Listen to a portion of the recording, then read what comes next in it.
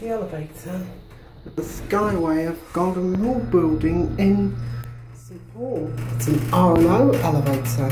Capacity £750. There's a phone. That's one.